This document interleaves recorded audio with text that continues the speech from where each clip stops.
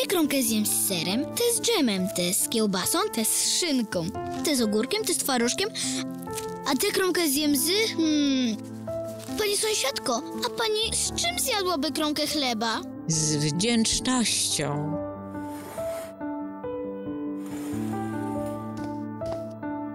Kromka chleba dla sąsiada. Zobacz, zrozum, podziel się. www.caritas.pl